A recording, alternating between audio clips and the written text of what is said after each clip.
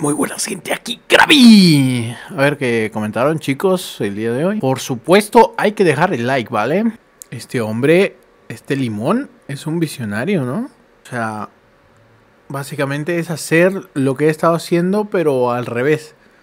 O sea, voy a poner fondo blanco, pero esta vez si veo algo que realmente...